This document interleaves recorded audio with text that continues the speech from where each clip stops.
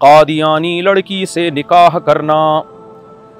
ये साहब अपना नाम नहीं बताना चाहते इंडिया से, हैं। कहते हैं, मैं एक अहमदी लड़की से शादी करना चाहती हूँ। सॉरी, चाहता हूँ। मगर वो कहती है कि वो इन अकीदों को नहीं मानती, जो अहमदियों का होता है। बताइए, शादी कर सकता हूँ या नहीं? नहीं कर सकते। अगर कोई कादियानी सिर्फ़ इतना कह दे कि मैं मिर्ज़ा कादियानी को नबी नहीं मानता तो इतना काफ़ी नहीं है। जब भी कोई गैर मुस्लिम इस्लाम कबूल करता है तो पिछले मज़हब से बारात के साथ इस्लाम की कबूलियत का ऐलान भी उस पर लाजिम है। तो वो जो अहमदी, कादियानी, अहमदीना कहा करें, कादियानी कहा करें, अहमद तो मोहम्मद सल्लल्लाहु अलैहि वसल्लम है। और ये जो मिर्ज़ा ग़ुलाम अहमद था, ये अहमद नहीं था, ये ग़ुलाम अहमद था। ग़ुलाम अहमद और अहमद में फ़र्क है। मौलाना अताउल्ला रहीमहुल्लाह ताला जो थे, उनका कादियानी से मुनाजरा हो रहा था। तो मिर्ज़ा कादियानी जो था, मुनाजरा नहीं, कोर्ट में केस चल रहा था।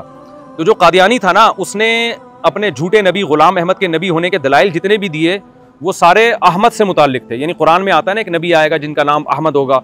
तो बार बार वो कादियानी ये कह रहा था, देखो, ये अहमद है अहमद है। देखो, ये हमारे गुलाम। तो अताउल्ला शाह बनियाल मौलाना अताउल्ला जो थे, उन्होंने कहा कि भाई, ये अहमद नहीं है तो गुलाम अहमद है ना? गुलाम अहमद है। तो कादियानी ने बोला, अहमद और गुलाम अहमद में कोई फ़र्क नहीं है। तो उन्होंने कहा अच्छा फिर मेरा नाम अताउल्ला है तो अल्लाह और अताउल्ला में कोई फ़र्क ही नहीं है। फिर मैं अल्लाह हूँ माज अल्लाह फिर मैंने उसकी नबूती कैंसिल कर दी। तो ज़ाहिर है, अल्लाह में और अब्दुल्ला में, अल्लाह में और अताउल्ला में बड़ा फ़र्क है। इसी तरह याद रखें, अहमद में और ग़ुलाम अहमद में बड़ा फ़र्क है।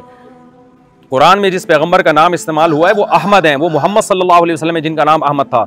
और जो मिर्ज़ाई, जो अहमद के जो दलाइल फिट करते हैं, ग़ुलाम अहमद पर, वो ग़ुलाम अहमद है भाई, वो अहमद नहीं है। तो अताउल्ला शाह बुखारी रहमत का ये डायलॉग याद रखा करें कि कादियानी ने कहा कि भाई, अहमद और ग़ुलाम अहमद में कोई फ़र्क नहीं है। तो अताउल्ला शाह बुखारी रहमत कहते थे, बड़ा फ़र्क है। अगर नहीं है तो फिर अल्लाह में और अताउल्ला में भी कोई फ़र्क नहीं है। फिर अताउल्ला ही अल्लाह है तो मैं अल्लाह हूँ तो मैंने तेरे नबी की नबूती कैंसिल कर दी है।